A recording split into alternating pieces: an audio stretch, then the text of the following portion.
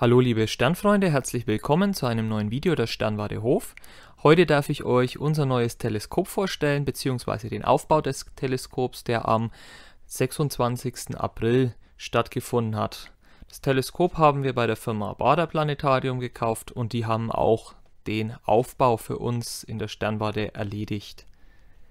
Ja, bevor es zum Zeitraffer geht, möchte ich euch kurz noch ein paar Sätze zum Teleskop sagen. Und zwar ist es ein 17 Zoll Planewave CDK, also ein Corrected Doll Kirkham.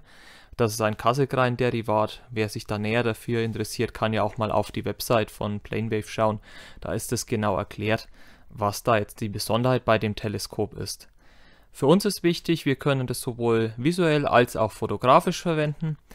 Und wir hatten auch das große Glück, dass wir in der, am Tag des Aufbaus schon eine klare Nacht hatten. Das heißt, das Teleskop konnte bereits getestet werden und auch eine kleine Testaufnahme vom Ringnebel konnten wir bereits machen. Die seht ihr dann am Schluss vom Zeitraffer des Aufbaus. Ja, ähm, das Teleskop steht auf einer 10-Micron-Montierung der GM3000. Ähm, die mit Absolutencodern in beiden Achsen ausgerüstet ist und somit eine sehr gute Nachführgenauigkeit erreicht und gleichzeitig auch noch eine hohe Positioniergenauigkeit.